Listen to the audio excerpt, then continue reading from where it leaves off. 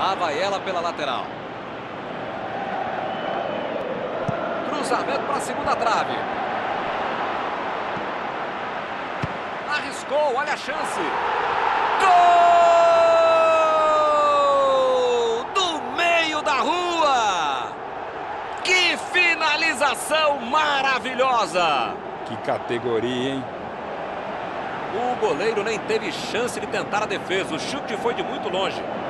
Eles pediram para tomar o gol, deram espaço e levaram.